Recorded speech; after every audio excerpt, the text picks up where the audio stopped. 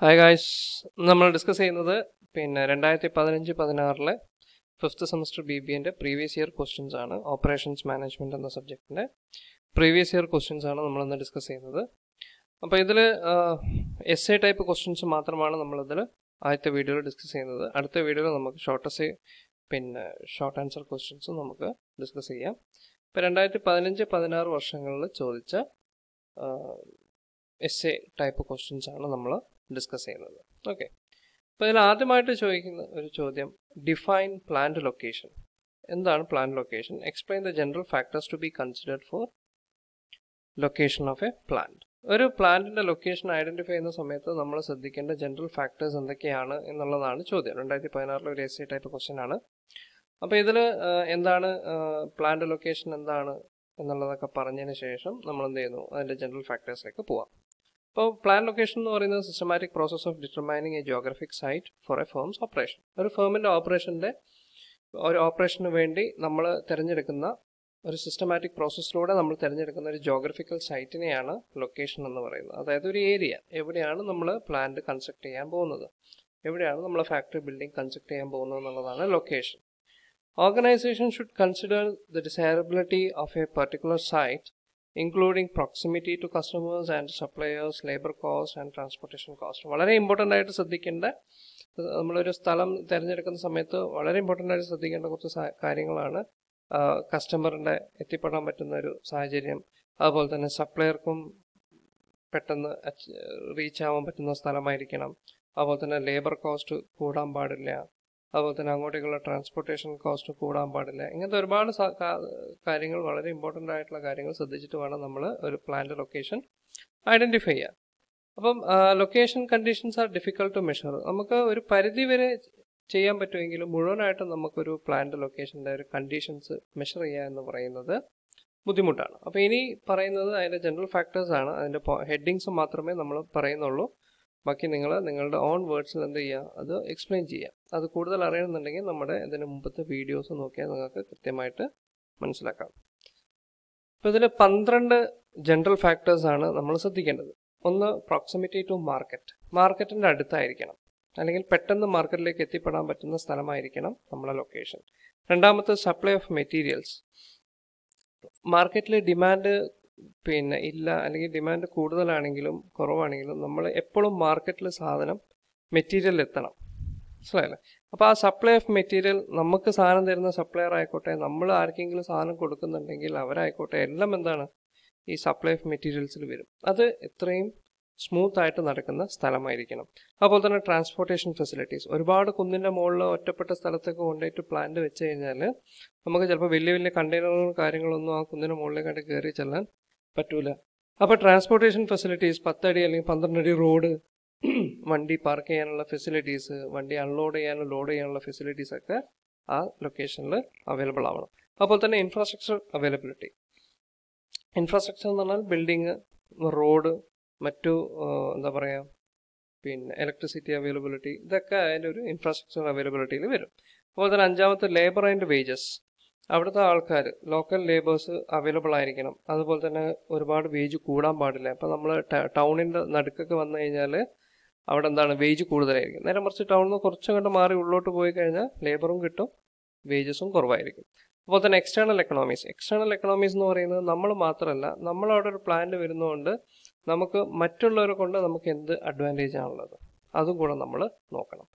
And capital of course capital ഒരു ഫാക്ടറാണ് capital പിന്നെ കോസ്റ്റ് നോക്കിയിട്ട് വേണം.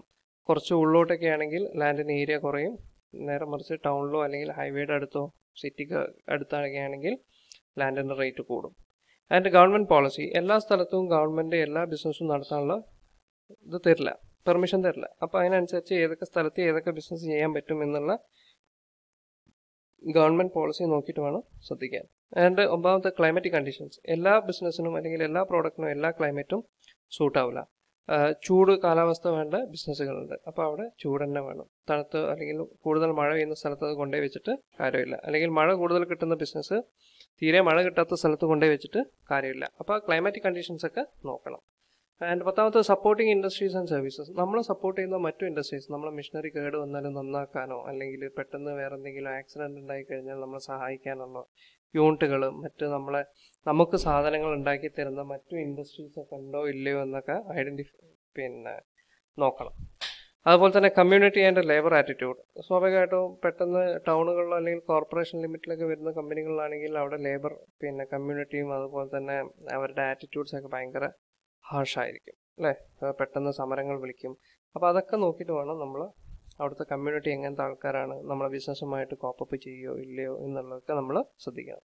കമ്മ്യൂണിറ്റി ഇൻഫ്രാസ്ട്രക്ചർ ആ കമ്മ്യൂണിറ്റിയിലെ മറ്റ് ഇൻഫ്രാസ്ട്രക്ചർ ഫെസിലിറ്റീസ് സ്കൂൾ പിന്നെ ഹോസ്പിറ്റൽസ് ഇതൊക്കെ നമ്മൾ നോക്കിയിട്ട് വേണം അവിടെ ലാൻഡ് ലൊക്കേഷൻ ഐഡന്റിഫൈ ചെയ്യാൻ. ഓക്കെ ഈ പന്ത്രണ്ട് പോയിന്റാണ് ഇത് കൂടുതലായിട്ട് ഡിസ്ക്രൈബ് ചെയ്യുന്ന വീഡിയോസ് നമ്മളിതിലുണ്ട്. അത് കൂടുതൽ കണ്ട് മനസ്സിലാക്കാം. ഓക്കെ അടുത്തത് രണ്ടാമത്തെ question explain detail stages in operation planning and control രണ്ടായിരത്തി പതിനാറിൽ ചോദിച്ച ചോദ്യമാണ് ഓപ്പറേഷൻ പ്ലാനിങ് ആൻഡ് കൺട്രോളിൽ സ്റ്റേജസ് എക്സ്പ്ലെയിൻ ചെയ്യാൻ. അതിൽ ആറ് സ്റ്റേജസ് ആണുള്ളത്. ഒന്ന് റൂട്ടിംഗ് രണ്ട് ലോഡിംഗ് മൂന്ന് ഷെഡ്യൂളിംഗ് നാല് ഡിസ്പാച്ചിങ് പിന്നെ അഞ്ച് ഫോളോ അപ്പ് ആറ് കറക്റ്റീവ് ആക്ഷൻസ് അതായത് റൂട്ടിംഗ് എന്ന് പറഞ്ഞാൽ അറിയാലോ നമ്മൾ പിന്നെ എന്താ പറയുക ഈ പ്ലാനിങ് സമയത്ത് തന്നെ എന്താണ് ഏതൊക്കെ ഓപ്പറേഷൻസ് ഏതൊക്കെ സമയത്താണ് നടക്കേണ്ടത് അതിന്റെ കൃത്യമായിട്ടുള്ള ഡീറ്റെയിൽസും കാര്യങ്ങളൊക്കെ നമ്മൾ ആദ്യമേ പഠിച്ചു വെക്കുക.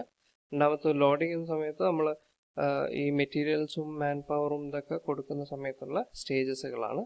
അപ്പോൾ അതിൽ പിന്നെ ഒരുപാട് ക്രോസ് ടോക്കിംഗ് പിന്നെ മിൽക്ക് എന്നൊക്കെ പറഞ്ഞിട്ട് ഒരുപാട് ഓപ്പറേഷൻസ് ഡിസ്പാച്ചിങ് സംഗതികളുണ്ട്. ഓക്കെ. അത് മെയിനായിട്ടുള്ള ആറ് ഹെഡിങ്സ് ഇതാണ്. Routing loading scheduling dispatching and follow up and corrective actions അപ്പോൾ അത് നിങ്ങൾ നിങ്ങളുടേതായ ഭാഷയിൽ എന്ത് ചെയ്യുക എക്സ്പ്ലെയിൻ ചെയ്യുക മൂന്നാമത്തത് മൂന്നാമത്തെ ഒരു ചോദ്യം ചോദിച്ചത് രണ്ടായിരത്തി പതിനഞ്ചിൽ define operations management explain scope and objectives operations management എന്താണ്? എക്സ്പ്ലെയിൻ സ്കോപ്പ് ആൻഡ് ഒബ്ജക്റ്റീവ്സ് എന്തൊക്കെയാണ് എന്നുള്ളതാണ്. ഇത് സ്ഥിരമായി ചോദിക്കുന്ന ഒരു ചോദ്യമാണ്. ഓക്കെ അപ്പോൾ ഇത് നിർബന്ധമായും പഠിച്ചു വെക്കുക നമ്മൾ ആദ്യം സ്കോപ്പാണ് ഡിസ്കസ് ചെയ്യുന്നത്. ഓപ്പറേഷൻസ് മാനേജ്മെന്റ് ഡെഫിനിഷൻസ് എല്ലാവർക്കും അറിയുന്നതാണെന്ന് വിചാരിക്കുന്നു.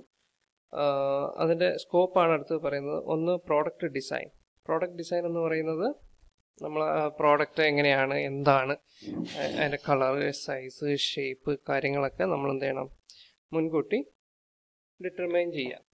മനസ്സിലായില്ലേ? അത് അതാണ് അതിന്റെ സ്കോപ്പ് എന്ന് പറയുന്നത്. പിന്നെ അതുപോലെ തന്നെ രണ്ടാമത്തത് ലൊക്കേഷൻ ഓഫ് ഫെസിലിറ്റീസ് ആണ്. ലൊക്കേഷൻ ഓഫ് ഫെസിലിറ്റീസ് എന്ന് പറയുന്നത് നമ്മുടെ ഫെസിലിറ്റീസ് നമ്മൾ പ്രൊവൈഡ് ചെയ്യുന്ന ഫെസിലിറ്റീസ് ഏതൊക്കെയാണ് അതിന്റെ മറ്റു കാര്യങ്ങളൊക്കെ അതിൽ നമ്മൾ എന്ത് ചെയ്യണം? സഹായിക്കുന്നത് ആരാണ് ഈ ഓപ്പറേഷൻസ് മാനേജ്മെന്റ് ആണ്. ഓക്കെ പിന്നെ അതുപോലെ തന്നെ പ്ലാന്റ് ലേ ഔട്ട് നോക്കണം. പ്ലാന്റ് ലേ ഔട്ട് എന്ന് പറയുന്നത് നമ്മൾ നേരത്തെ പറഞ്ഞു ലേ ഔട്ട് എന്ന് പറയുന്നത് എന്താണ്? ഒരു ഫിസിക്കൽ അറേഞ്ച്മെന്റ് ഫെസിലിറ്റീസ് ആണ് ലേഔട്ട് എന്ന് പറയുന്നത്. അപ്പോൾ പ്ലാന്റ് ലേ ഔട്ടിന് വളരെ ഇമ്പോർട്ടന്റ് ആണ്. അതുപോലെ തന്നെ മെറ്റീരിയൽ ഹാൻഡ്ലിംഗ് അഞ്ചാമത് പ്രോസസ് ഡിസൈൻ ആറ് പ്രൊഡക്ഷൻ ആൻഡ് പ്ലാനിങ് കൺട്രോൾ ഇതൊക്കെ ഓപ്പറേഷൻസ് മാനേജ്മെന്റിന്റെ സ്കോപ്പാണ് അതുപോലെ ക്വാളിറ്റി കൺട്രോൾ ഉണ്ട് മെറ്റീരിയൽസ് മാനേജ്മെന്റ് ഉണ്ട് മെയിന്റനൻസ് മാനേജ്മെന്റ് ഉണ്ട്. ഓക്കെ ഇത്രയും സംഗതികളാണ് അതിന്റെ സ്കോപ്പായിട്ട് പറയുന്നത്.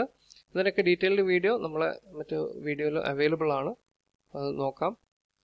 അതിന്റെ ഒബ്ജക്റ്റീവ്സ് ആയിട്ട് പറയുന്നത് to provide customer service customer service provide ചെയ്യുക. ഓപ്പറേഷൻസ് മാനേജ്മെന്റിന് സാധനം വിൽക്കുക മാത്രമല്ല അതിന്റെ കൂടെ തന്നെ എന്ത് ചെയ്യാം സർവീസും പ്രൊവൈഡ് ചെയ്യണം. അതുപോലെ തന്നെ effective utilisation of resources scarce ആയിട്ടുള്ള റിസോഴ്സസ് ആണെങ്കിലും പ്ലെന്റി ആയിട്ട് അവൈലബിൾ ആയിട്ടുള്ള റിസോഴ്സസ് ആണെങ്കിലും എന്താണ്?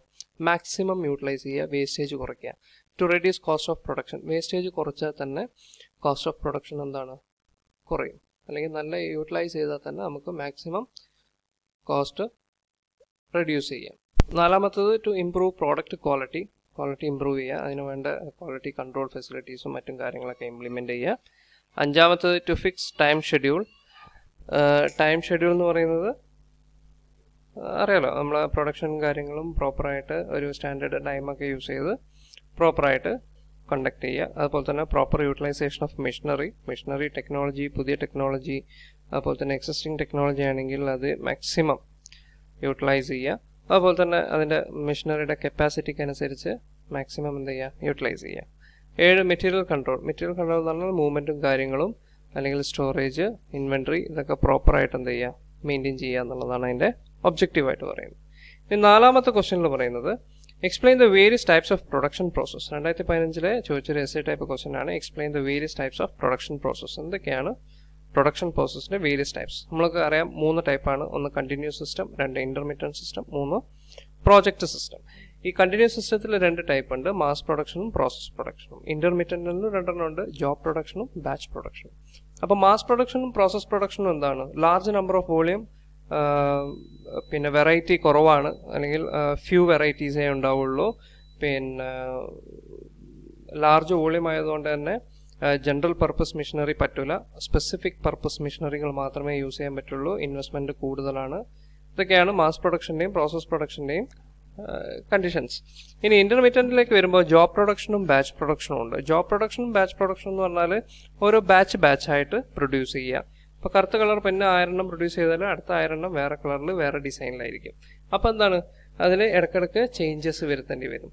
അപ്പോൾ പ്രൊഡക്ഷൻ സൈക്കിൾ ടൈമിംഗ് കൂടുതലായിരിക്കും. പക്ഷെ നേരെ മറിച്ച് കണ്ടിന്യൂസ് സിസ്റ്റത്തിൽ എന്താണ് പ്രൊഡക്ഷൻ ടൈമിംഗ് കുറവായിരിക്കും. കാരണം പ്രത്യേകിച്ച് ഒരു ചേഞ്ചസും വരുത്തുന്നില്ല. രാവിലെ മുതൽ വൈകുന്നേരം വരെ ട്വന്റി ഫോർ സെവൻ ഒരേ സാധനം തന്നെയാണ് പ്രൊഡ്യൂസ് ചെയ്യുന്നത്.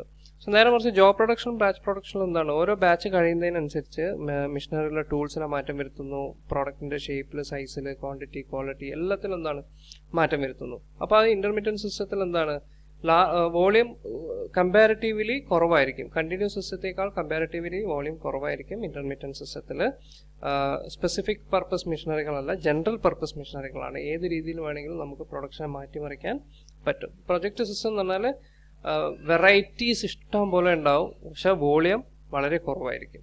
വെറൈറ്റീസ് ഓരോ പ്രോഡക്റ്റും ചിലപ്പോൾ ഓരോ വെറൈറ്റി ആയിരിക്കും. ഓരോ പ്രോഡക്റ്റും ഓരോന്നോ രണ്ടോന്നോ രണ്ടോ മൂന്നോ ഒക്കെ പ്രൊഡ്യൂസ് ചെയ്യുള്ളൂ. അതാണ് പ്രോജക്റ്റ് സിസ്റ്റം എന്ന് പറയുന്നത്.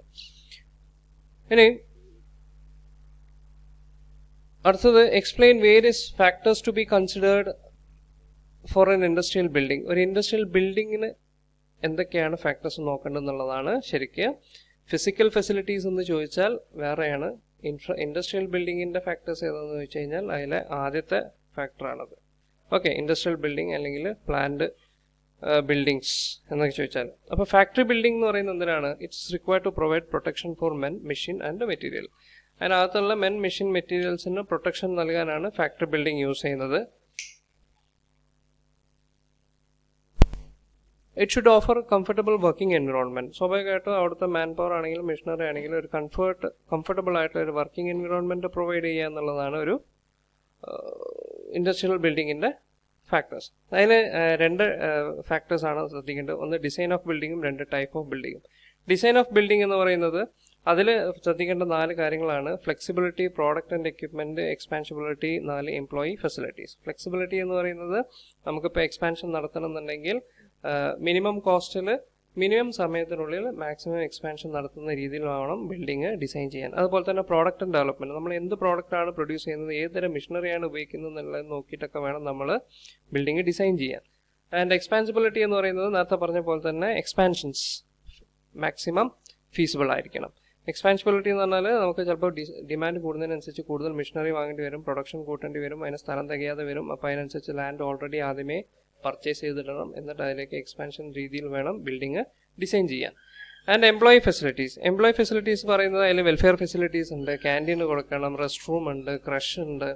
ഇങ്ങനെ ഒരുപാട് സംഗതികൾ നമ്മൾ അതിനകത്ത് ഉൾക്കൊള്ളിക്കുന്ന രീതിയിൽ വേണം ബിൽഡിംഗ് ഡിസൈൻ ചെയ്യാൻ. ഓക്കെ ആൻഡ് രണ്ടാമത്തെ ടൈപ്പ് ഓഫ് ബിൽഡിങ്ങിൽ പറയുന്നത് സിംഗിൾ സ്റ്റോറി ബിൽഡിംഗ് ഉണ്ട് മൾട്ടി സ്റ്റോറി ബിൽഡിംഗ് ഉണ്ട്. സിംഗിൾ സ്റ്റോറി ബിൽഡിംഗ് എന്ന് പറഞ്ഞാൽ ഒരുപാട് ലാൻഡ് വേണം ക്യാപിറ്റൽ കൂടുതൽ ചിലവാക്കണം അത് ഒരേ ഫ്ലോറിൽ എല്ലാ പ്രൊഡക്ഷൻ ഫെസിലിറ്റീസും നമുക്ക് ഓക്യുപ്പൈ ചെയ്യാൻ പറ്റും.